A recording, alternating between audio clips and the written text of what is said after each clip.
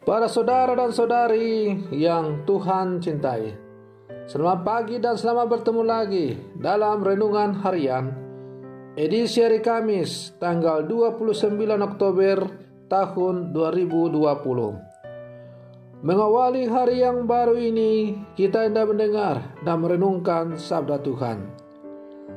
Marilah sebelum kita mendengar dan merenungkan sabda Tuhan, kita berdoa.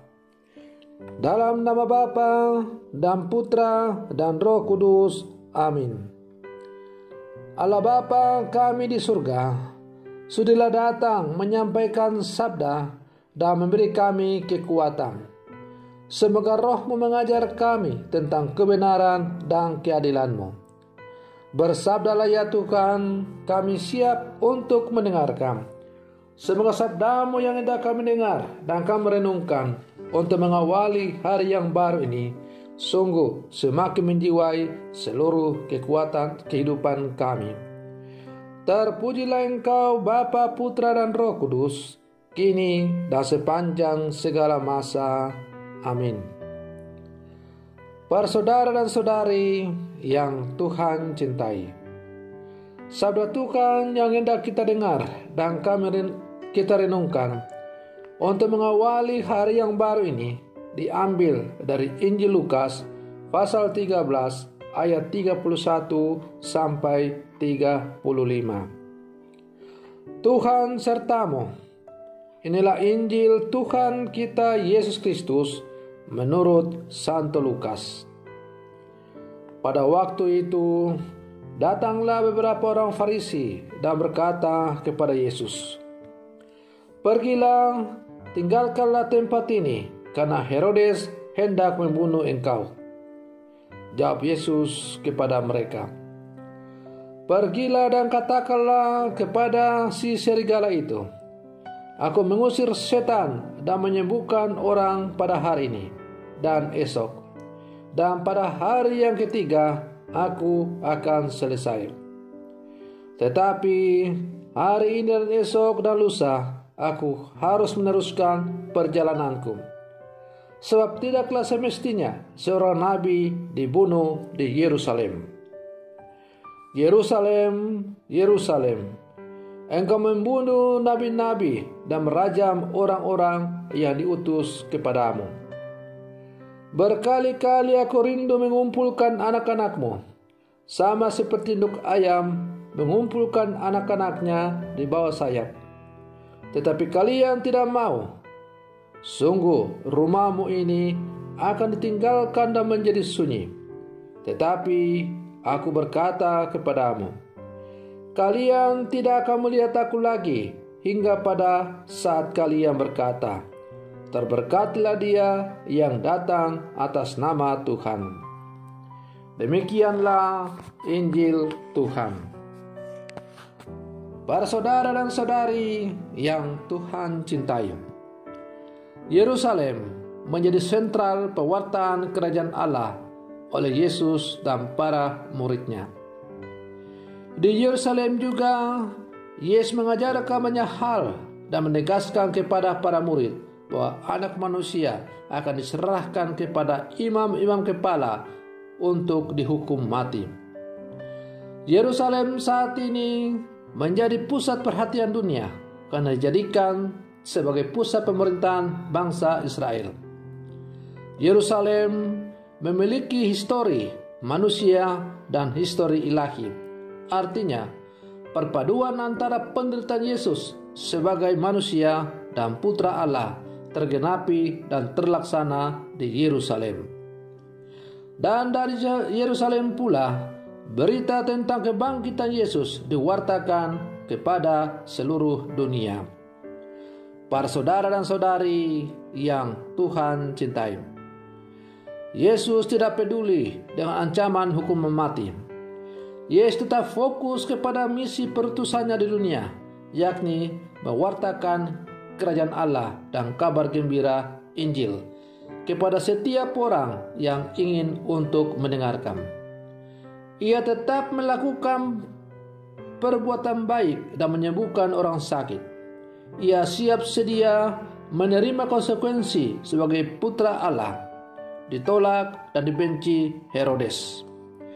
Maka meskipun ia telah diperingatkan oleh orang-orang, para muridnya, bahwa ia hendak dibunuh oleh Herodes, Yesus tidak mau ambil pusing. Ancaman pembunuhan yang dilontarkan oleh Herodes tidak membuat ciut nyali daripada Yesus untuk memberitakan Injil Kerajaan Allah. Yesus tetap menjalani semua perutusannya di Yerusalem sampai semua terpenuhi dan bahwa putra Allah akan menjalani jalan salib serta dihukum mati di kota Yerusalem. Para saudara dan saudari yang Tuhan cintai. Kisah penderitaan, wafat dan kebangkitan Yesus di Yerusalem telah menggerakkan hati banyak orang di dunia ini untuk mengikuti Yesus dan percaya kepada Dia. Kalau dihitung-hitung saat ini tidak kurang dari 2 miliar lebih manusia menyatakan diri percaya kepada Yesus Kristus. Dia adalah putra Allah yang hidup, yang telah menyerahkan seluruh kehidupan untuk menyelamatkan manusia. Dialah putra Allah yang rela menderita bahkan mati di atas kayu salib sebagai korban pelunas dosa umat manusia.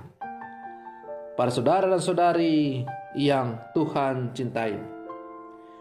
Menjadi pewarta Injil di zaman sekarang tentu juga tidak luput dari berbagai tantangan-tantangan. Menjadi pengikut-pengikut Yesus di zaman sekarang juga terkadang tidak membawa keuntungan dalam kehidupan ini. Kita bisa dijumpai di sana sini banyak orang-orang yang mengaku dirinya sebagai orang Kristen atau yang percaya kepada Yesus Kristus tidak bebas untuk mengungkapkan iman kepercayaannya. Tidak tidak terlepas daripada di sejumlah tempat di negara kita. Cobalah kita lihat di sejumlah tempat di negara kita orang-orang Kristen tidak bebas untuk mendirikan rumah ibadat gereja. Ada begitu banyak syarat-syarat yang harus dipenuhi. Kalaupun sudah dipenuhi, masih ada saja alasan-alasan tertentu untuk membuat supaya gereja itu tidak bisa dibangun. Lihatlah orang-orang Kristen di sejumlah tempat tidak bebas mengungkapkan perayaan-perayaan imannya. Mereka diteror bahkan dibubarkan ketika sedang bersembayang.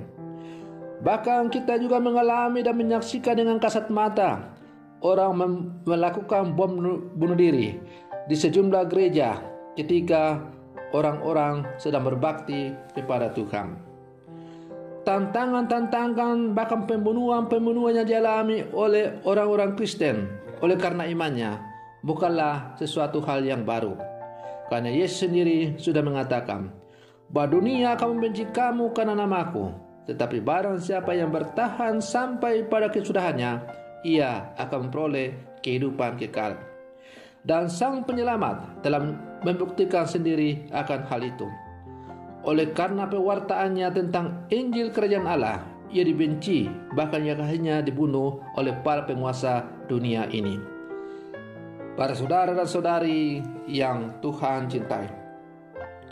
Apakah sebagai murid-murid Yesus yang hidup di zaman sekarang, kita harus mundur dalam mewartakan Injil kan menghadapi berbagai tantangan-tantangan, ancaman-ancaman? Tidak. Sebagai pengikut-pengikut Yesus zaman sekarang, tantangan, ancaman tidak boleh menyurutkan niat iman kita untuk bersaksi tentang Kristus dalam kehidupan ini. Karena panggilan hidup orang Kristen, orang Katolik adalah panggilan untuk memikul salib. Justru di balik salib itu tersingkap rahmat kehidupan kekal bagi orang yang sungguh percaya. Para saudara dan saudari yang Tuhan cintai. Sebagaimana guru agung guru agung kita telah setia memikul salibnya sampai akhir demi untuk keselamatan manusia. Maka demikian pula lah sebagai murid-murid Yesus yang hidup di zaman sekarang kita harus setia di jalan salib kita masing-masing. Karena itu janganlah pernah takut untuk memikul salib dalam kehidupan ini. Karena salib yang bagi orang Yunani adalah sebuah kebodohan. Salib yang bagi orang Ibrani adalah sebuah hukuman. Tetapi salib bagi orang Kristen, salib bagi orang Katolik adalah sumber keselamatan. Maka mari kita memikul salib dalam kehidupan kita dengan setia mewartakan Injil. Semoga pada akhirnya kita layak disebut sebagai murid-murid Yesus yang akan ikut menikmati hidup berbahagia bersama dengan Sang Penyelamat. Semoga demikian. Selamat pagi. Tuhan Yesus memberkati.